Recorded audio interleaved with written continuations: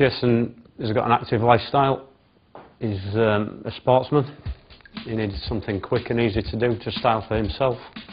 So I've cut it in an A shape previously, taken away the fringe and left some length at the sides and back. Basically I'm going to show you how to dry it very quickly and style it for an active lifestyle. I'm going to use a hairdryer to get some volume in. You're pointing the hairdryer at 90 degrees to the head, purely for volume.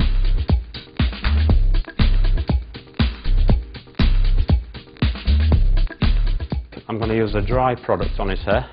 This is like a putty or a paste style substance. Work it through all your hands.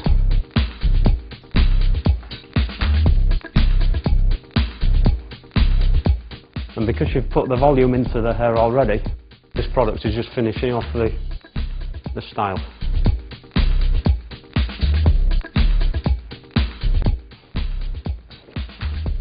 You've got the basic shape there. And just at the fringe portion, you spend a little bit longer finishing the detail off. A little bit extra on the hand. Bring it across and that's it. Quick, easy, full of volume and plenty of texture.